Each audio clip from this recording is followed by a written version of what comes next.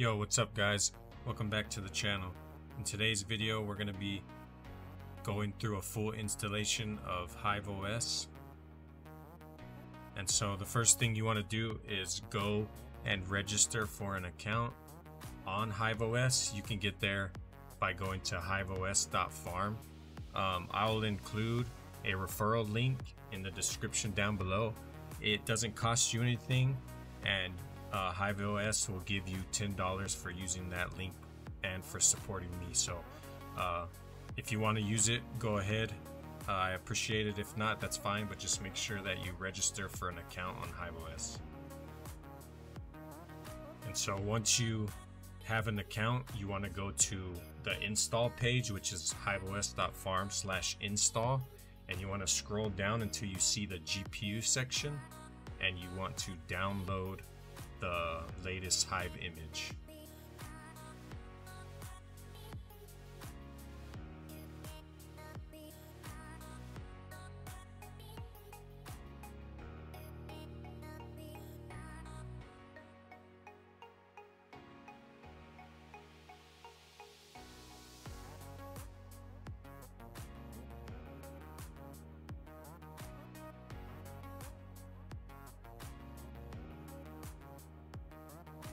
All right, so once you have uh, the Hive OS image downloaded, you want to scroll down and you want to download Balena Etcher. So if you right click on the link and hit open in the new tab, it'll take you to the site for Balena Etcher. And this is what you're going to use to write your SSD or hard drive, whatever you're using. So just uh, download whichever one you want. I'm going to download the portable version. If you see this error, just hit keep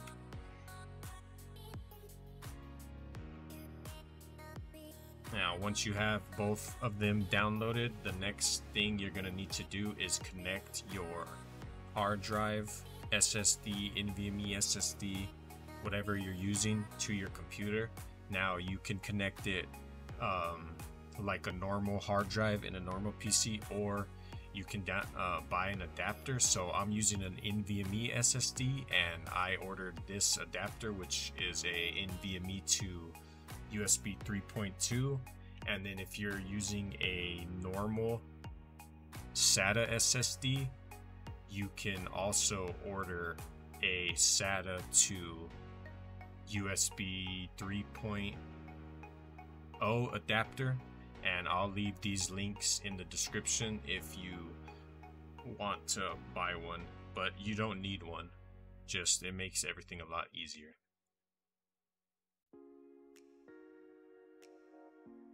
Alright, so now when you have your hard drive or SSD connected to your computer, all you need to do is uh, run Balena Etcher.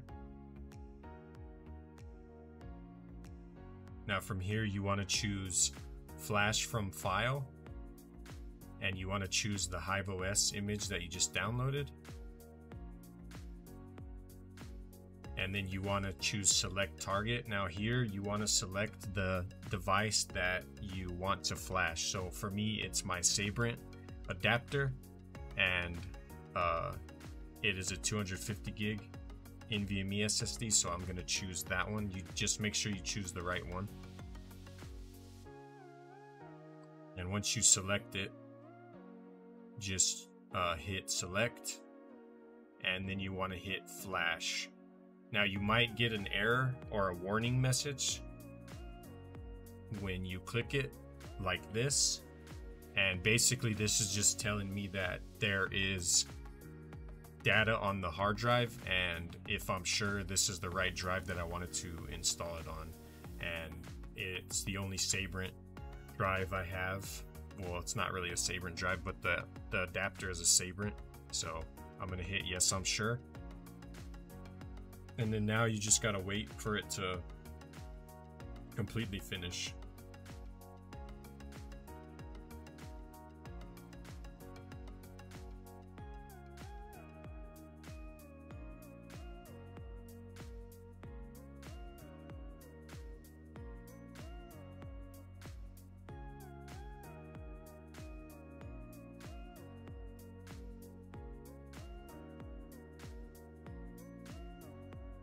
All right, so now that it's finished, you can just close this. And now uh, there's one more thing that you want to do, and it is if you're using one of these adapters, uh, you want to disconnect the device and then reconnect it.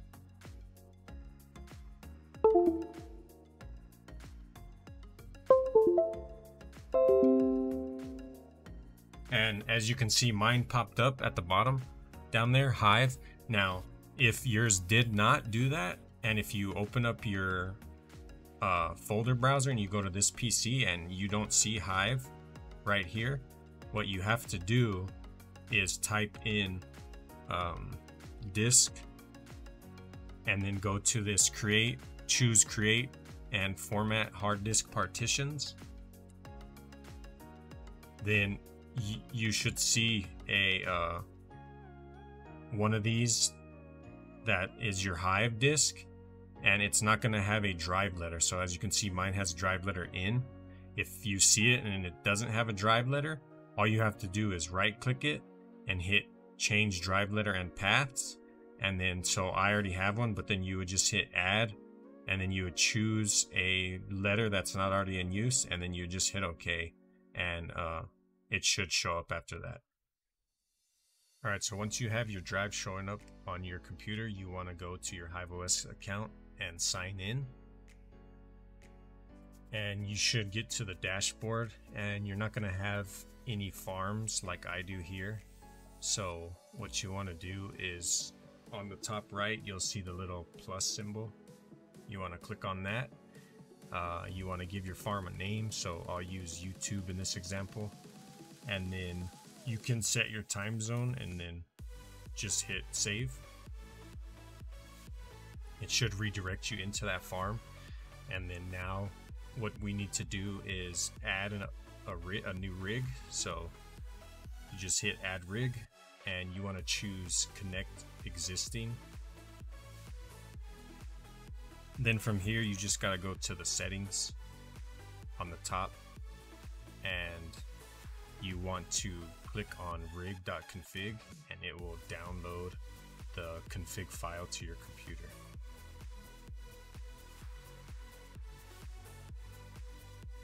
And so what you do with this file is you need to put it on the drive where Hive OS is installed. Um, and so mine is on my drive in, whatever drive letter you picked, uh, that's when that's what it should be. So you just drag and drop it into your device and I have to rename it because the name is wrong. It's just supposed to be rig.config.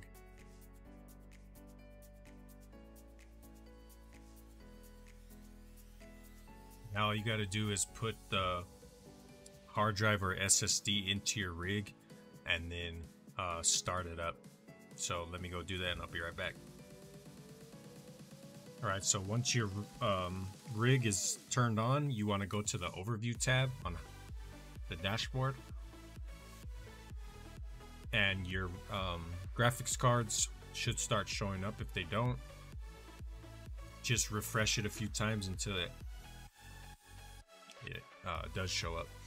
Now, the first thing that I recommend anybody that just installed HiveOS do is remote into your rig and change your passwords.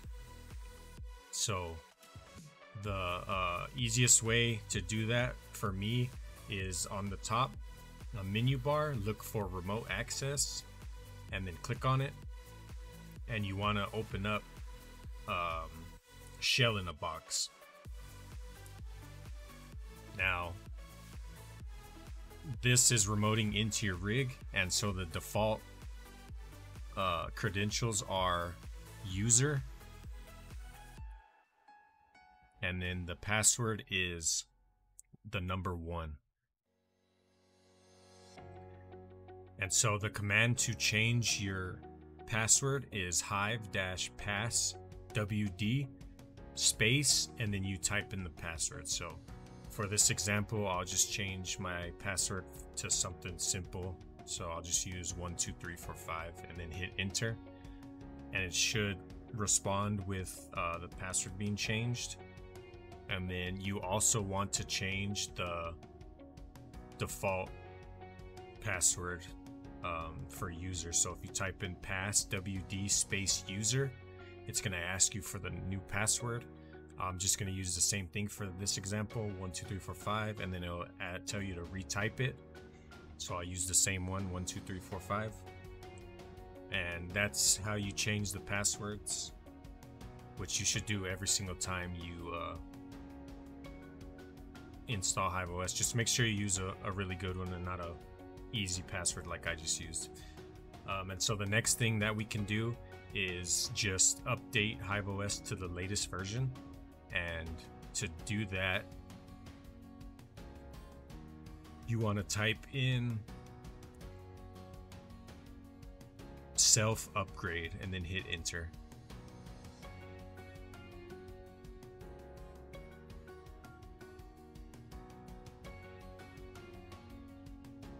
Now you just gotta wait until it downloads everything and, and does the installation.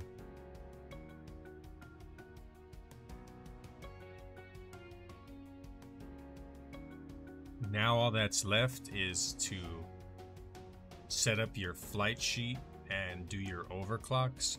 But before you can do any of that, you have to set up a wallet. So you want to click on uh, your farm name. Mine's is YouTube, and then you want to choose wallets, and you want to hit uh, add wallet. I'm going to be using uh, ETH address, and I'm going to name it just ETH wallet. So just make sure whatever coin you're using, you have the right uh, wallet address. And then you can go just click on workers, go back to your rig.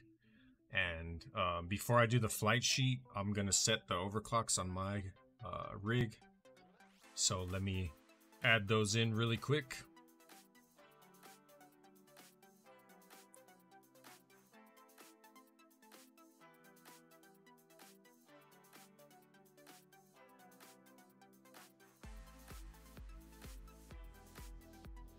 For my AMD cards, I'm just going to set the fan speed. I'll set the overclocks uh, later. So after you have your overclock set, now we just need to create a flight sheet. And a flight sheet is basically how you tell your miner, or not your miner, how you tell your rig what uh, miner you want to be running. Now, so if you click flight sheets, it's going to tell you um, you need to make one, basically. So uh, just click on go to list and then it'll take you to your uh, farm flight sheets. And so just hit add a flight sheet and now for me I'm going to be using ETH I'm going to use the wallet that I just made the pool I'm going to be using Ethermine uh, and I like to use the SSL URL so just toggle this little button I'm closer to the US West and I'll use US East as a backup. Just hit apply. And then I'm going to select the miner. I'm going to use NB miner for now. And I'm just going to give it a name. I'm going to name it ETH NB miner.